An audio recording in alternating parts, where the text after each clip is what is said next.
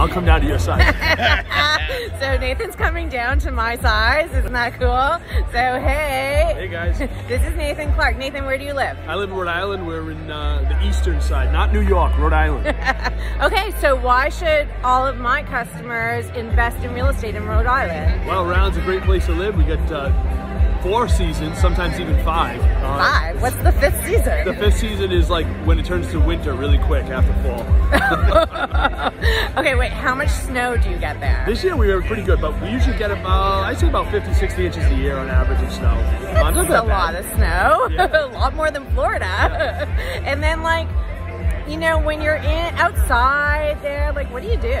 Uh, we have uh, well, we, we have great beaches. Uh, what's great beaches. about Rhode Island, we have great food, great beaches. Uh, we have we're only about an hour away from skiing. You go up to the mountains in the, in the winter, so you have all the winter activities to do, and you have uh, great activities during the summer. It's a beautiful area. It's a beautiful, unique state.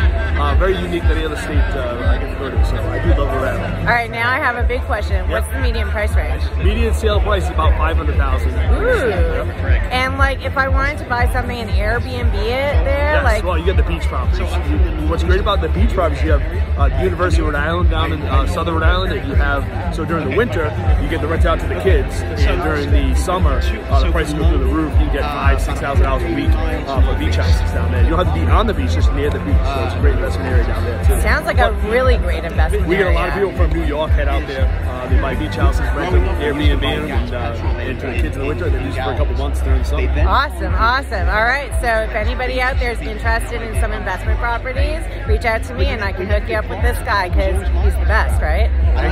Aren't you the best? Yes. yes. Don't forget to tell them you're the best. and he has a team approach, so you're not just getting him, you're getting the whole team. So it's awesome. All right, guys, have a great day. Thanks, Nathan. Bye.